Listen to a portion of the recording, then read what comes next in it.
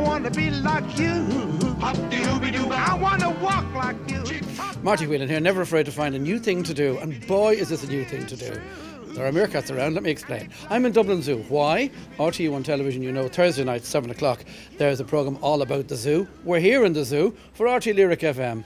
Not only that, but of course, it's in conjunction with the EBS as well. So there's all of that to tell you about, which we will do in due course. In the meantime, I'm joined by Eddie O'Brien. Eddie, um, that's your lunch, is it? It is not, Marty. No, No, good man. You're not. wise move. Now, I better explain. You are the team leader for the meerkats. I am indeed. Yes, indeed. So yeah. do they see you as some sort of leader? Is that the, They do indeed. Yeah, They yeah, do. Yeah. And and how many have you here? We have I'm four, afraid to turn around. We have four here. We have one male and three females. All right.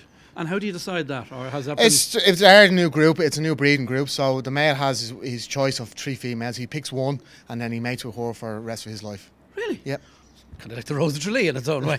um, but but in terms of them being here, how long have they been here in, in Dublin Zoo? Well, we have meerkats out here for over the last 20 years, but this new group has only been established in the last year. right. So And they're they're, from- new. They're South African, isn't that right? They come from South Africa, but uh, the group has originated from Belfast and Welsh Mountain Zoo in Wales. That's where Right. we got the group from. I am right in saying they are hugely popular now. They are very to do popular. with movies and to do with the ads on TV. and They. They are very cute, uh, but they are uh, carnivores, which means they will eat meat. So Will they, they? Could, they could give you a Well, it's been lovely bite. talking to you.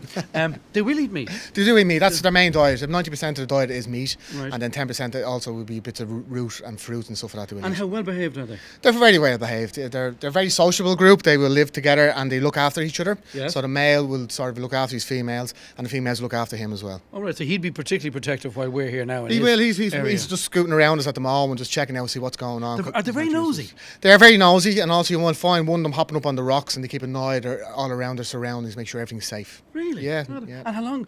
Don't let them hear this. How long will they live? They can live up to about fifteen, sometimes twenty years at a push. Really? Yeah, yeah. Oh, that's great. And have you? You haven't had any births here yet. Not just yet. No, that's the plan. Is that we will have soon, because they're only a new established group, so That's we're hoping right. to have some. And of course, they have the link with the insurance company, so it'll be all That's right. right. Yes. But you don't only deal here in Dublin Zoo with the meerkats. You have other functions as well, Eddie. Yeah, I've, I'm in charge of the each section of the zoo, so my, my experience on, on animals look after will be from reptiles to their tropical birds, so it varies a lot around the zoo. Oh, what brought you to this?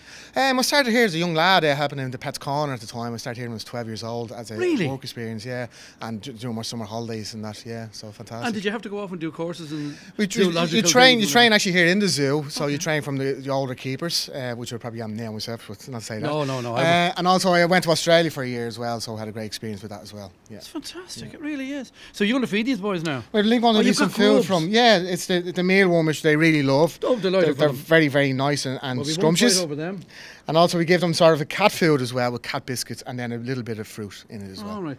And the, the male is uh, a little bit bigger, uh, so as soon as they come out, you see he has a little bit bigger head and he's more sociable as well. So he he come They right, he'll come right aren't they? over. They're not quite. Not of you, obviously. No, well, they're not they're not uh, aggressive or anything like that. They're not going to attack you. You know, they're very very calm. And uh, as you see there, they're feeding very well there.